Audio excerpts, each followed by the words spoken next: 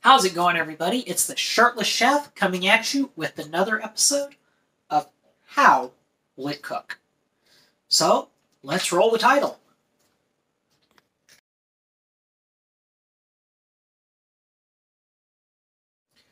So, in today's episode, I'm going to show you how to bulk up instant ramen using some random items I have in my random bits of food and um, some sauces and things like that that I've got little bits of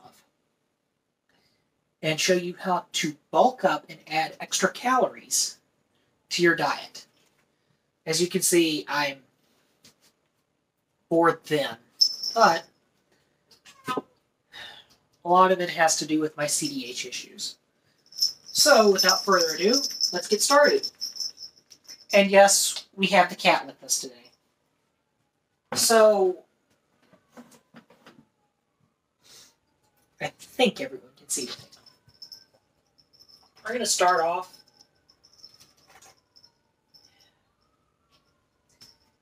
getting this pan heated up. I'm going to put some water in it so we can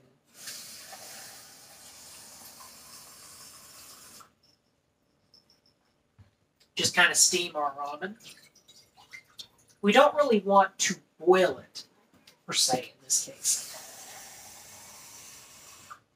We're just looking to kind of steam it.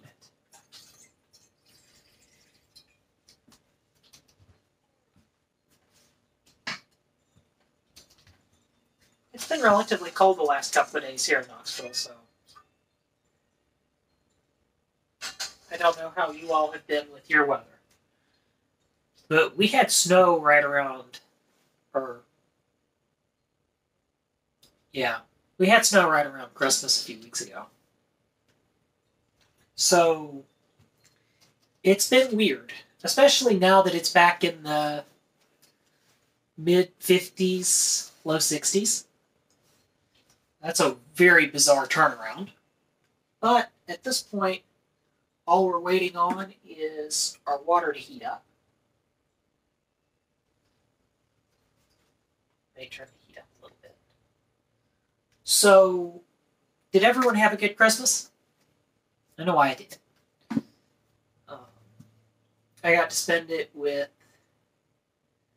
myself, my dad, my sister, and her boyfriend.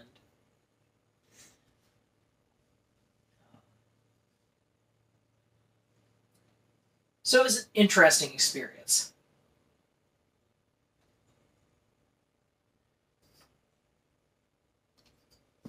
Normally, I don't. I kind of put all my cooking videos to the way to the backside after or right before the holidays, right at Thanksgiving, just because there was so much going on. I knew there was no way I could keep up with everything. Doing an episode three days a week, trying to keep up with my stream, trying to continue to work, and now pretty soon starting school. I kind of needed a couple of days to, a couple of weeks to figure out everything. So this is one of those that we are going to fly by the seat of our pants today. I have an idea as to what I want to do, but mine is more the fact that we have, like I said, a bunch of random things. That is not closed.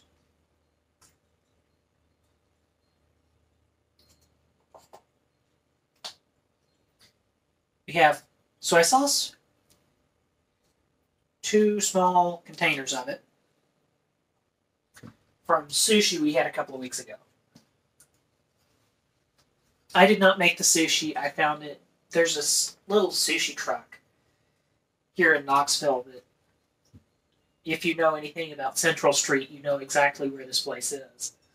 But there's a little place called Central Filling Station.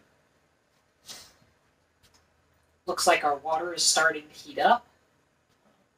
Got some sweet and sour sauce that we had since probably the last time we had Chinese takeout. It's been several weeks ago. The only issue with this is it's separated. But it still smells okay.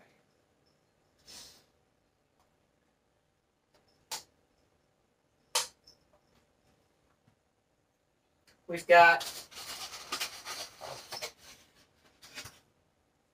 an egg, which we're going to use to bulk up our protein.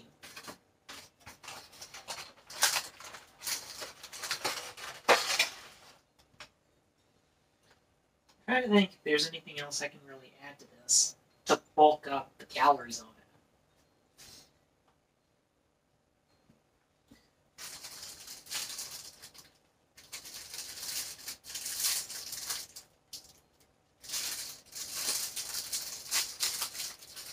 Now, I'm going to show you, this is going to come together relatively quick.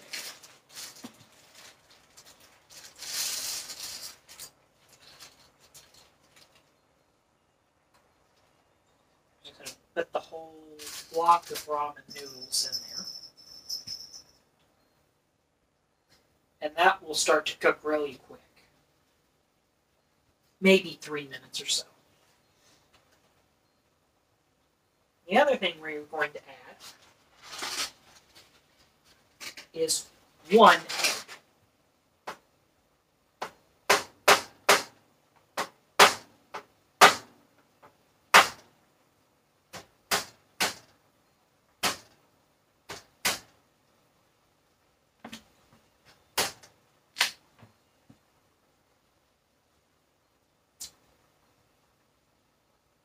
Smells okay. And we're just going to kind of boil it in with our ramen. We're not going to try and scramble it or anything. We're just going to boil it as is.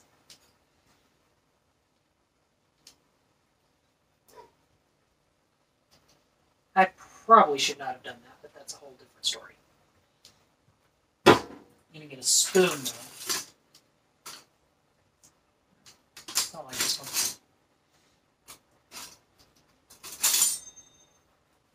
Try this one.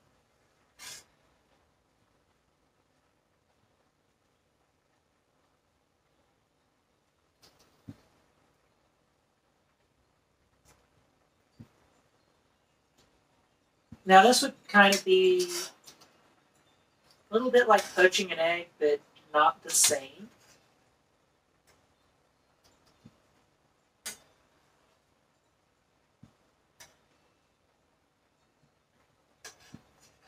I'm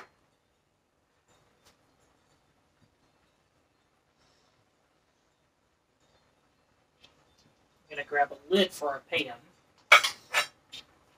And this isn't gonna take very long. I mean, we're already at seven minutes, and that included my intro.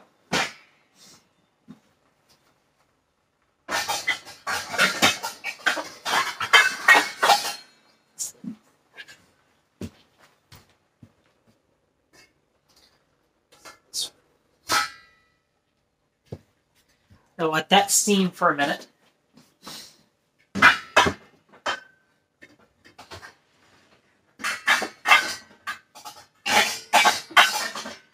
And yes, you all are probably correct. I am not poaching an egg per se.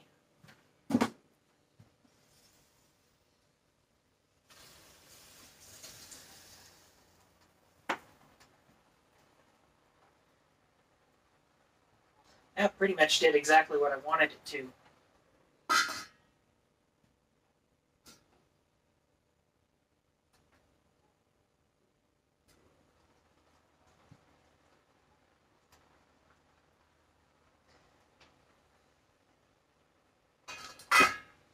So, now what we're going to do is we're going to get a bowl.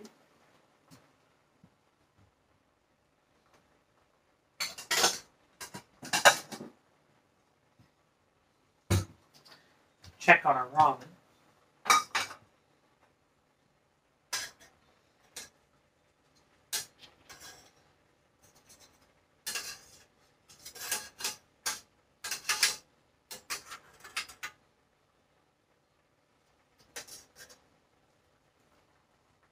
Looks like our egg's pretty much cooked. Put a little more water on it, just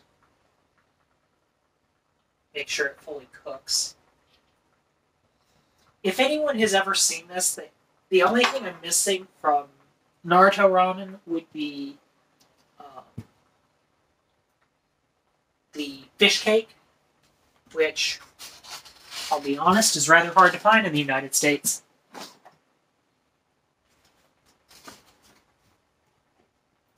But that's essentially what this is.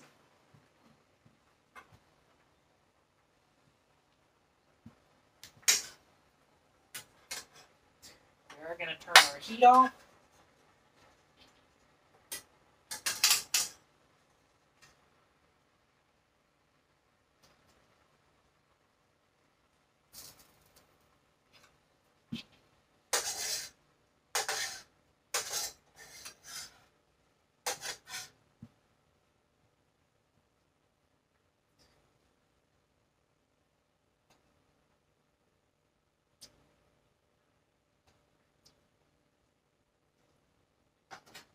That cooked perfectly. Now, I pulled that off and realized I messed up a step. So we're going to add this to our kind of soup base.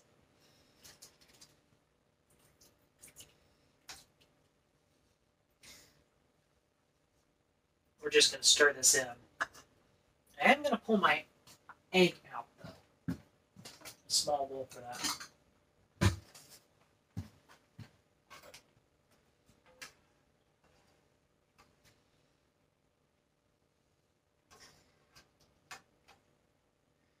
And here is our poached egg. Set that to the side. We're going to kind of get our sweet and sour sauce turned back to a liquid.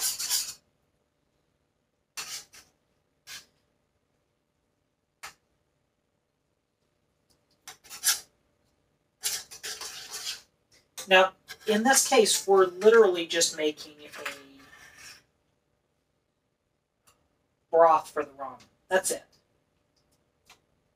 This is where all your flavor is going to be, since we did not add the flavoring packet for the soup. To be honest, those flavoring packets are full of nothing but salt. So this is actually healthy. How much healthier, I'm not quite sure, but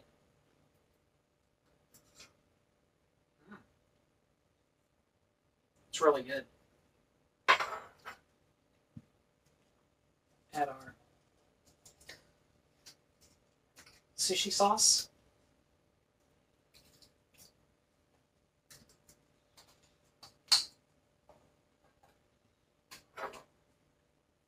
Stir that together for a second.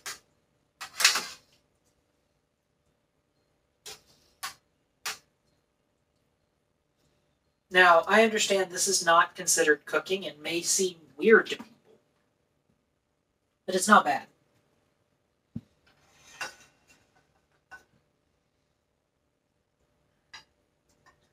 But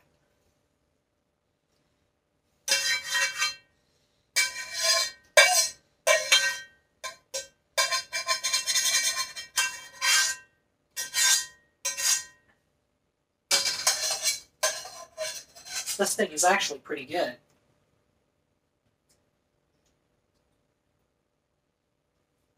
Add a little bit of our soy sauce.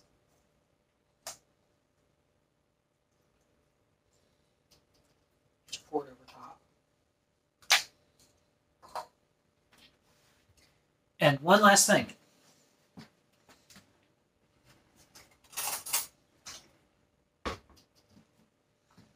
An eating utensil.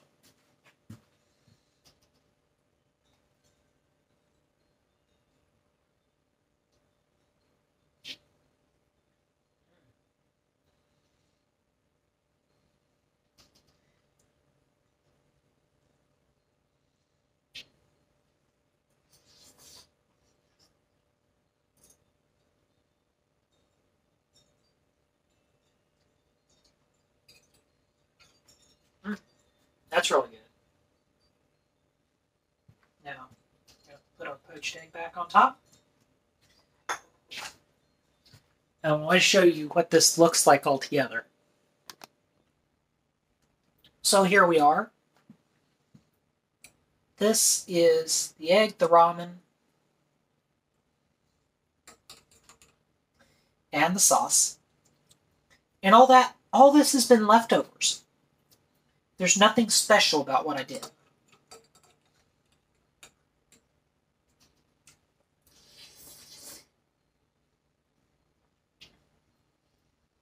Now let's see how our egg did.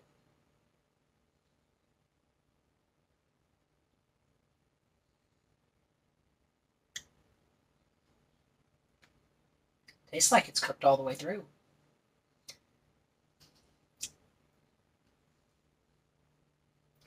That's pretty good. So,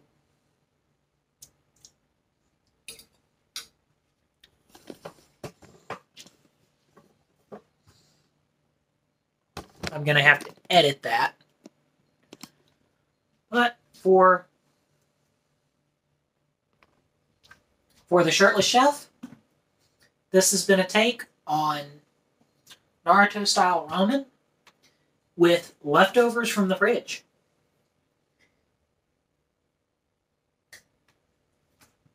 I try to do a lot of this for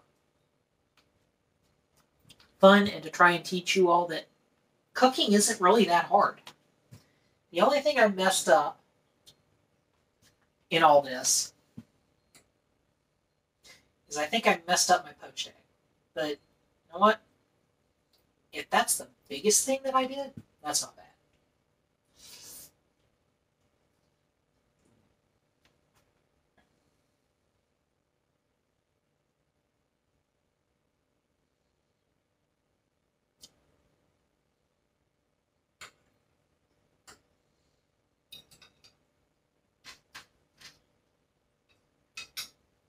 But otherwise, this is really good. So, for the Shirtless Chef, I will see you on Friday with how to cook. Have a great day, and see you next time.